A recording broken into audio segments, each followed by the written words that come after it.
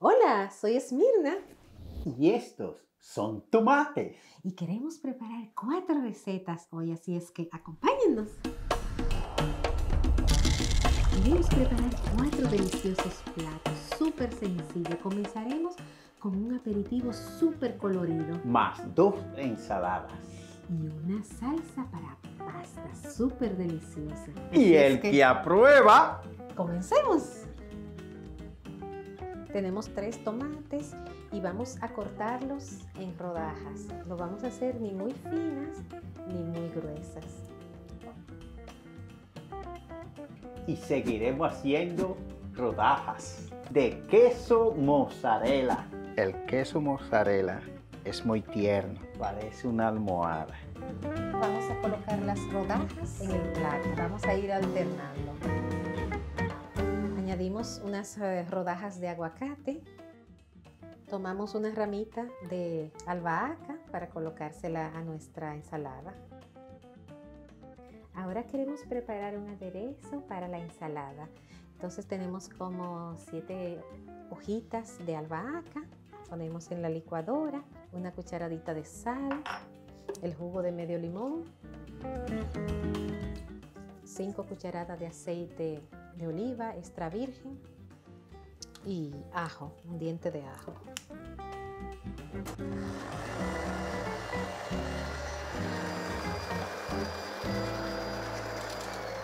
Esa albahaca tiene un olor. Que abre el apetito. Exactamente. Qué ricura.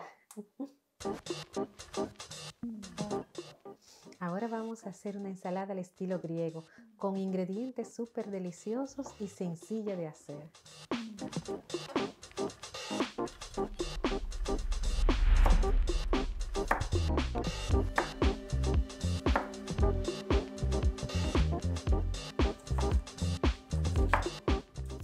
Ya a nuestra ensalada le hemos añadido tomate, pepino y cebolla, cebolla roja. Tenemos eh, aceitunas negras. Añadimos queso feta y lo cortamos en cuadritos. Y si no tenemos este queso, pues podemos usar un queso blanco. Añadimos sal y pimienta. Añadimos aceite de oliva extra virgen, jugo de limón y ya está lista.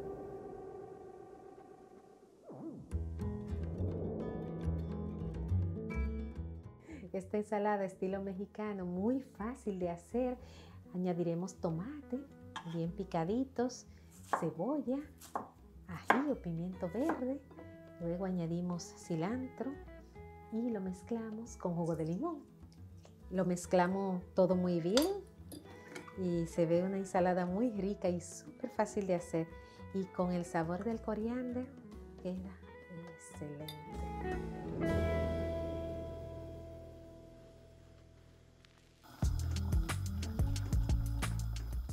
Ahora prepararemos la salsa para pasta. Entonces usamos tomates que estén maduros, eh, pueden ser diferentes tipos de tomates. Estando bien maduro, esa es la clave. Entonces lo vamos a poner a fuego eh, con una taza de agua. Añadimos una cucharada de sal y dos de azúcar.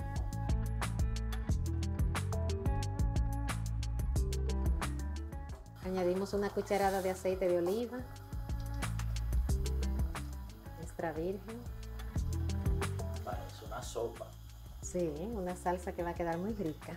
¿De cuántas variedades de cosas se pueden hacer con el tomate? Muchísimo. Así que tomate el tiempo para conocerlas todas. Si nos gusta el sabor de la albahaca, pues le añadimos unas hojitas. Le añadimos un ajo, una hojita de laurel. Lo podemos poner por 20 minutos a fuego medio alto. Se está haciendo ya una salsa. Un poquito de orégano. Sacamos la hojita de laurel porque ahora queremos eh, batirlo. Mira, si uno no tiene una batidora así de mano, pues uno la puede hacer en la licuadora. También eh, la salsa, ¿no? Mezclarla. también queda riquísimo.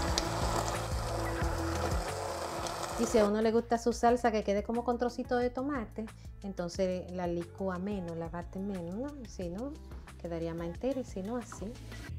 Una rica salsa para, para la pasta.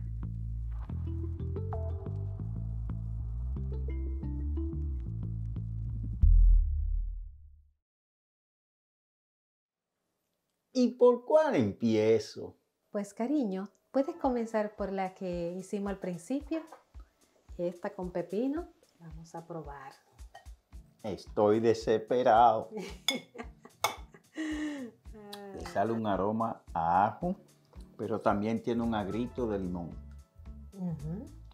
Sí, y esta está riquísima. Con el queso feta hace una combinación perfecta. Con tomate, cebolla. mm, Un sabor riquísimo, la verdad que sí. Y el queso mozzarella le sale un agrito, la combinación con el ajo, como un vinagrito. Y el sabor de la albahaca, ¿verdad? Que, Ahora eso viene Mm. rico al paladar. Ahora la salsa de la pasta, a ver cómo fue. Y yo me voy con el mexicano. Mira, a ver, De verdad que se ve deliciosa. a ver cómo es. De aquí para México.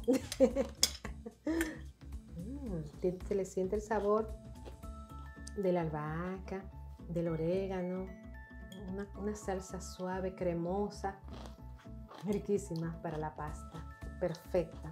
Está que da seguidilla. El sabor a la cebolla, el tomate, el ají es riquísimo. Y esa se le sobresale el sabor también del cilantro, ¿verdad, mi amor? Por eso lo invitamos a probarla, no solo a mirarla. Así es. Y eh, bueno, compartir este video con otras personas. Gracias por ver nuestros videos. Y bueno, eh, darnos uno gusta y también se pueden suscribir si lo desean. ¿eh? Así que nos vemos la próxima vez. Bye.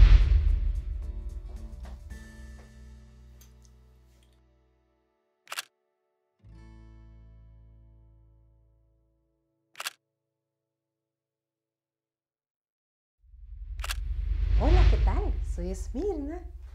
Y esto son tomates.